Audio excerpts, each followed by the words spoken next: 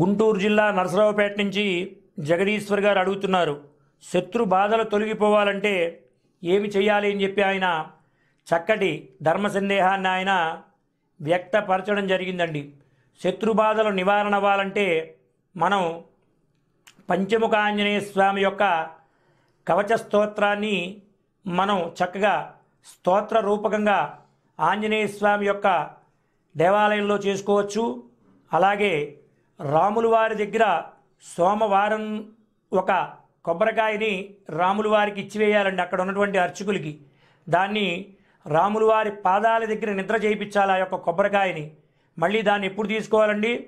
మంగళవారం దాన్ని మనం అర్చకుల చేతుల మీదుగా తీసుకుని ఆంజనేయ స్వామి యొక్క దేవాలయానికి వెళ్ళి అక్కడ ఆ యొక్క కొబ్బరికాయని కొట్టించడం జరగాలి.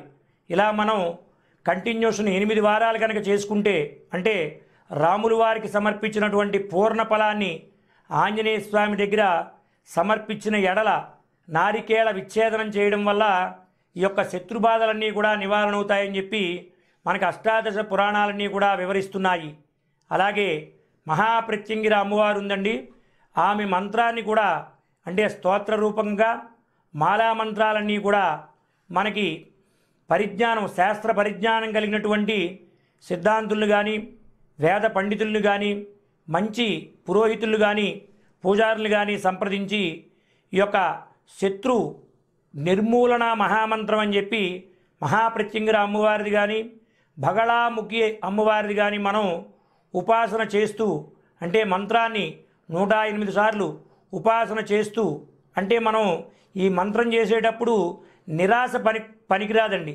నిరాశ కానీ విరక్తి కానీ పనికిరాదు.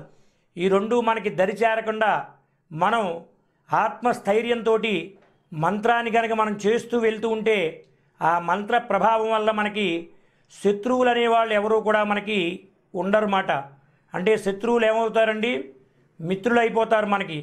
అందువల్ల ఈ యొక్క మహాప్రత్యంగిర మాలా మంత్రాన్ని పంచముఖ హనుమత్ కవచ స్తోత్రాన్ని ఎవరైతే మనం రోజు కూడా జపం చేస్తూ ఉంటారో అంటే స్తోత్రాన్ని పఠిస్తూ ఉంటారో వారందరికీ కూడా శత్రువులు వారి దగ్గరికి కనీసం దగ్గరికి రావాలన్నా వారికి వల్ల కాదు మాటండి.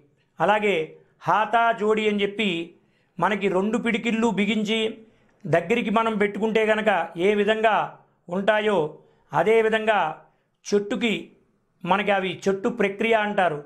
ఆ హాతా జోడి అనేది కూడా మనకి ప్రకృతి పరంగా లభిస్తుంది. దాన్ని మనం పూజా స్టోర్లో ఉంటూ ఉంటాయి.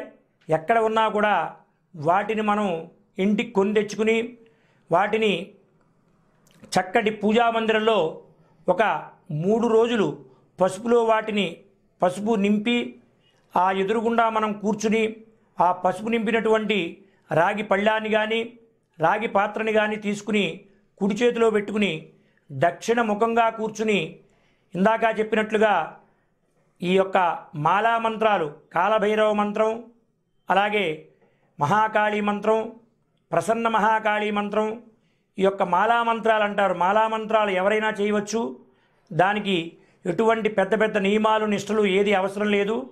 ఆ మాలా మంత్రాలు మీరు ఉపదేశంగా తీసుకుని ఈ యొక్క హాతా జోడి కనుక మంత్రించి దాన్ని మెడలో కనుక ధరిస్తే ఎటువంటి శత్రు బాధలైనా కూడా మనకు ఉండవండి. అంటే శత్రుబాధలతో పాటు ఈతి బాధలు మానసిక శారీరక బాధలు కూడా దూరం అవుతాయి. ఈ యొక్క హాతాజోడి వేసుకోవడం వల్ల మనకి జంతువుల నుంచి కూడా మనకి రక్షణ లభిస్తుంది. ఎటువంటి నాగసర్పం వచ్చినా కూడా మన ఏం చేయలేదండి. హాతాజోడిని చూసి అక్కడి నుంచి వెళ్ళిపోతుందన్నమాట. అంటే ఎటువంటి జంతువుల నుంచి కూడా మనం రక్షణ పొందాలి అనుకుంటే ఈ హాతాజోడి అని చెప్పి చక్కటి ప్రకృతిపరంగా ఉన్నటువంటి దైవ సంబంధంగా ఉన్నటువంటి మనం దాన్ని చెట్టు ప్రక్రియని కనుక ధరింపజేసుకుంటే ఆ యొక్క శత్రు బాధలు ఈతి బాధలు రుణ బాధలు జంతు భయ బాధలు పిశాచ బాధలు ఇవన్నీ కూడా నివారణ అయిపోతాయన్నమాట మనకి అది వేసుకోవడం వల్ల ధైర్య పరాక్రమాలనేవి పెరుగుతాయన్నమాట. అందువల్ల ఈ చెప్పినటువంటి చక్కటి ఉపాయాలన్నీ కూడా మీరు తప్పనిసరిగా అనుసరించి మీరు మరియు మీ కుటుంబ సభ్యులు తద్వారా అందరూ కూడా అష్టైశ్వర్య భోగభాగ్యాలు పొందుతారని చెప్పి మనవి చేస్తున్నాం. లోకా సమస్త శుకునోభవంతో